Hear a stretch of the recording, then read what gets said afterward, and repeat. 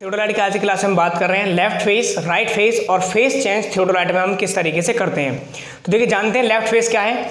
यदि इंस्ट्रूमेंट में टेलीस्कोप के लेफ़्ट साइड में वर्टिकल सर्किल रहता है तो इस सिचुएशन को हम कहते हैं लेफ़्ट फ़ेज़ जब हम किसी भी थियोडोलाइट पर कोई भी ऑपरेशन स्टार्ट करते हैं तो सबसे पहले जो रीडिंग ली जाती है, वो लेफ़्ट फ़ेज़ पर लेनी चाहिए और लेफ़्ट फ़ेज़ पर हमें जो रीडिंग पढ़ते हैं, वो हमें कैसे पढ़नी चाहिए? क्लॉक वाइज डायरेक्शन में पढ़नी चाहिए। तो लेफ़्ट फ़ेज़ क्या है? लेफ़्ट फ़ेज़ में टेलीस्कोप के लेफ़्ट साइड में क्या होगा हमारा? वर्टिकल सर्किल होगा। मैं यहाँ पर एक इंडिकेशन लिख दे रहा हूँ। अगर टेलीस्कोप हमारी यहाँ है तो उसके लेफ़्ट साइड में क्या होना चाहिए? वर्टिकल सर्किल होना चाहिए। अगर लेफ़्ट साइड वर्टिकल सर्किल है तो उस केस में हम क्या कहते हैं? उस सिचुएशन को हम कहते हैं थोडोलाइट की लेफ़्ट फेस कहते हैं उस सिचुएशन को। ठीक है? तो ये हमारा टेलीस्कोप और टेलीस्कोप के लेफ़्ट में वर्टिकल सर्किल होगा तो उसे क्या कहेंगे हम?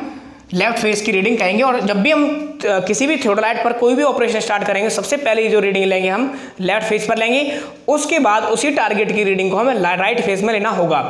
तो अब हमें राइट फेस में करने के लिए, यानी लेफ़्ट फेस से हम चाहते हैं राइट फेस में रीडिंग लाना। अब राइट फेस कहते कैसे हैं? पहले उसको समझें। राइट फेस में क्या होगा? टेलीस्कोप के अगर राइट में वर्टिकल सर्किल आ जाता है तो उसे हम कहते हैं अगर ये टेलीस्कोप है, और टेलीस्कोप के राइट में अगर वर्टिकल सर्किल आ जाए तो उसे हम कहते हैं, उस सिचुएशन को हम कहेंगे वर्टिकल सर्किल अगर राइट में होगा तो उसे कहेंगे राइट फेस की रीडिंग और राइट फेस की रीडिंग हम कैसे पढ़ते हैं? एंटी क्लॉकवाइज हमें पढ़नी चाहिए। तो अगर हम टेलीस्कोप के लेफ़्ट में अगर वर्टिकल सर्किल है तो उसे लेफ़्ट फेस कहते हैं। टेलीस्कोप के अगर राइट में वर्टिकल सर्किल है तो उसे राइट फेस कहते हैं। तो आखिर ये हम किस तरीके से करते हैं? लेफ़्ट फेस से राइट फेस में रीडिंग कैसे लाते हैं? सॉरी लेफ़्ट फेस से राइट फेस में हम इंस्ट्रूमेंट को कैसे लाते हैं? अब ये जानते हैं, इसी को हम कहते हैं फेस चेंज करना। यानी अगर आप लेफ़्ट फेस से राइट फेस में कन्वर्ट कर रहे हैं इंस्ट्रूमेंट को तो उसे कहते हैं फेस को चेंज कर दिया। फेस चेंज तो कैसे करते हैं फेस चेंज को देखिए।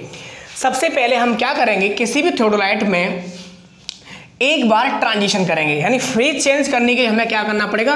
वन ट्रांजिशन प्लस उसके लिए, वहीं पर उसी केस में वन स्विंगिंग अगर हम कर देंगे, देखिए टी का मतलब यहाँ पर है मैं इसको पूरा लिख देता हूँ। एक बार हम ट्रांजिशन करेंगे। वन ट्रांजिशन दूसरा, हम क्या करेंगे? प्लस वन स्विंगिंग यानी एक बार अब स्विंगिंग और ट्रांजिशन क्या है? इसे पिछला लेक्चर बना चुका हूँ। स्विंगिंग और ट्रांजिशन आप जान, देख सकते हो वहाँ पर। तो यहाँ पर भी मैं एक्सप्लेन करता हूँ, देखिए।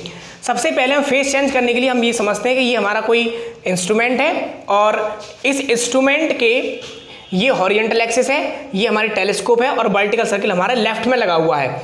तो वर्टिकल सर्किल हमारा कहाँ है? लेफ़्ट में। तो इसको क्या कहेंगे? टेलीस्कोप हम इसी को कहते हैं नॉर्मल टेलीस्कोप और इसी सिचुएशन को हम कहते हैं लेफ़्ट फेस तो जब टेलीस्कोप के लेफ़्ट साइड में वर्टिकल सर्किल होगा तो लेफ़्ट फेस और अगर राइट में होगा तो राइट फेस कहेंगे। लेकिन देखिए, हमें किस तरीके से कन्वर्ट करना है लेफ़्ट से राइट में? हमें एक बार ट्रांजिशन करना हुआ। ट्रांजिशन क्या है? ट्रांजिशन वह प्रोसेस है, जिसमें हॉरिजेंटल एक्सेस के अबाउट इस टेलीस्कोप को वर्टिकल प्लेन में 180 डिग्री रोटेट करा देंगे। तो उसे क्या कहेंगे? ट्रांजिशन। तो सबसे पहले हम फेस चेंज करने के लिए क्या करेंगे? ट्रांजिशन करेंगे। फिर उसके बाद क्या करेंगे? वर्टिकल एक्सेस के अबाउट, अब वर्टिकल एक्सेस हमारी कहाँ होगी? वर्टिकल एक्सेस हमारी ये होगी। अब इस वर्टिकल एक्सेस के अबाउट आप क्या करेंगे? इंस्ट्रूमेंट को 180 डिग्री रोटेट करा देंगे। तो हमें क्या करना होगा? एक बार ट्रांजिशन इस हॉरिजेंटल एक्सिस के अबाउट वर्टिकल प्लेन में रोटेट करा देंगे टेलीस्कोप को। फिर क्या करेंगे? इस वर्टिकल एक्सिस के अबाउट हमें पूरे इंस्ट्रूमेंट को हॉरिजेंटल प्लेन में 180 डिग्री मूव करा देंगे। तो एक बार ट्रांजिशन कर लिया, दूसरी बार स्विंगिंग उस वहीं पर स्विंगिंग भी करना है। तो अगर हम ऐसा कर देंगे तो क्या होगा? फेस चेंज हो जाएगा। आप देखेंगे कि थियोडोलाइट में जो सर्किल हमारा टेलीस्कोप के लेफ़्ट साइड में था, वो राइट साइड में आ गया होगा। कब? जब हमने एक बार ट्रांजिशन और एक बार स्विंगिंग कर लिया होगा।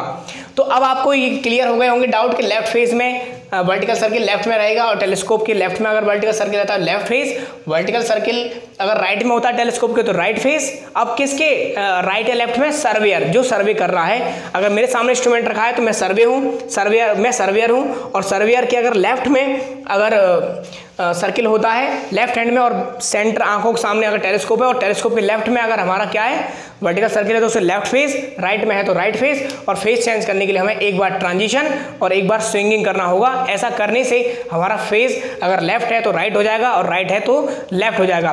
तो ये सारा प्रोसेस है हमारा फेस चेंज का। तो स्टूडेंट्स मेरे लेक्चर आपको कैसे लग रहे हैं? कमेंट बॉक्स में जाके कमेंट करके बताएँ और मेरे चैनल को लाइक और सब्सक्राइब करना ना भूलें। Thank you